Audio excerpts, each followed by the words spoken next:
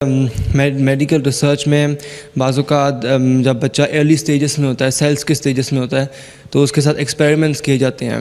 تو اسلام کا اس میں کیا کہنا ہے؟ ایکسپیریمنٹ کر کے اس کو مار دیا جاتا ہے۔ ماں کے ماں کے اس میں ہوتا ہے یوٹرس میں ہوتا ہے ووم میں ہوتا ہے۔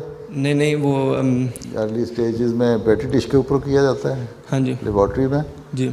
ہیں لیبارٹری میں اسپرم اور ایکسلس کو ہاں وہ مطلب اس کو اس کے اوپر گرو کیا جاتا ہے نا؟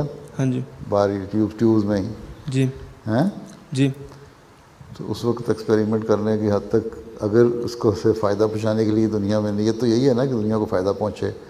آئندہ بچوں کی جو پیدا ہوں ان کی جو مسائل ہیں جو پیدا ہو سکتے ہیں پریگنینسی کے دوران ان کا پتہ چل جائے۔ ٹھیک ہے؟ اور یا اس کے بعد جو آگے ہو اس کا پتہ لگ جائے تو اس لحاظ سے تجربہ کرنے میں کوئی حرج نہیں ہے، جائز ہے۔